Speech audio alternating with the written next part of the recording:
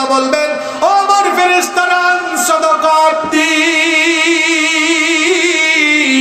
আমার বান্দা সত্য বলেছে, আমি সাক্ষ্য দিলাম, আল্লাহু আকবার।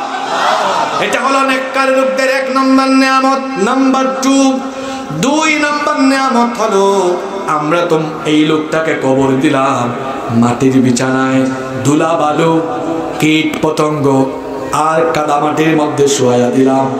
নেককার বান্দার কবরটাকে আল্লাহ মাটির কবর রাখবেন না।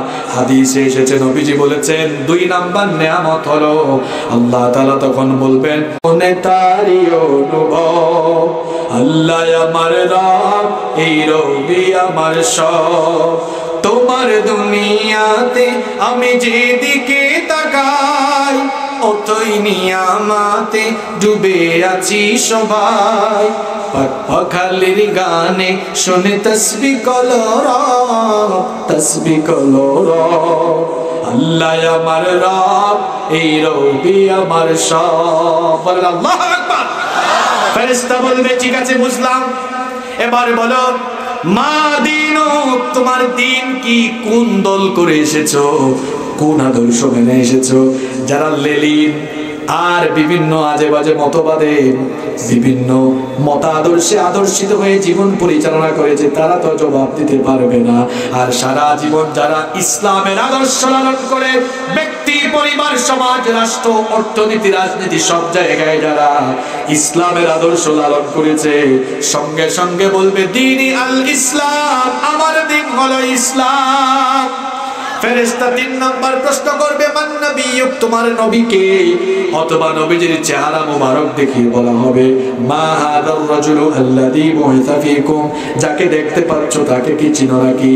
তখন নেককার বান্দাগুলো বলবে, কেন চিনবো না?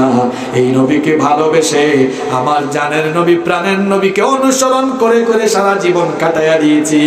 ইনি হচ্ছেন আমার কলিজার টুকরা নবী মুহাম্মাদুর রাসূলুল্লাহ। সাল্লাল্লাহু নেককার লোকেরা কবরে মোট দশটা নিয়ামত পাবে। নাম্বার ওয়ান, এক নম্বরে নিয়ামত হলো, তিনটা প্রশ্নের জবাব তারা সহজভাবে দিবে। আল্লাহ বলবেন, ও আমার ফেরেশতারা আমার বান্দা সত্য বলেছে, আমি সাক্ষ্য দিলাম। আল্লাহু এটা হলো নেককার লোকদের এক নম্বর নিয়ামত। নাম্বার টু, দুই নম্বর নিয়ামত হলো আমরা তো এই লোকটাকে কবর দিলাম। মাটির বিছানায় ধুলা বালু কীট পতঙ্গ আর কাদামাটির মধ্যে শোয়া দিলাম। নেককার বান্দার কবরটাকে আল্লাহ মাটির কবর রাখবেন না।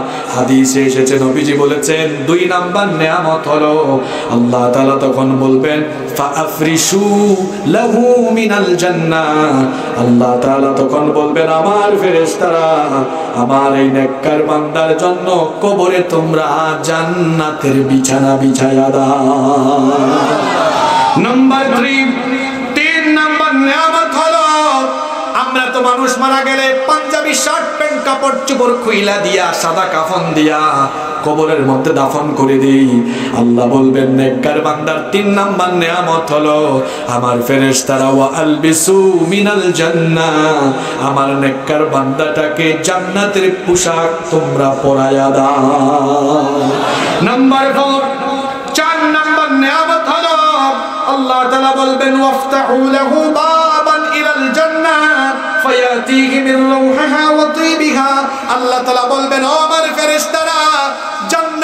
থেকে একটি দুয়ার, একটি দরজা আমার বান্দার কবরের দিকে খুইলা দাও, যাতে জান্নাত থেকে সুগন্ধি এসে এসে আমার বান্দার কবরটাকে জান্নাতের সুগন্ধে সুবাসিত করে দিতে পারে। নাম্বার ফাইভ পাঁচ নাম্বার নেয়ামত হলো, আল্লাহ তাআলা পাঁচ নাম্বার নেয়ামত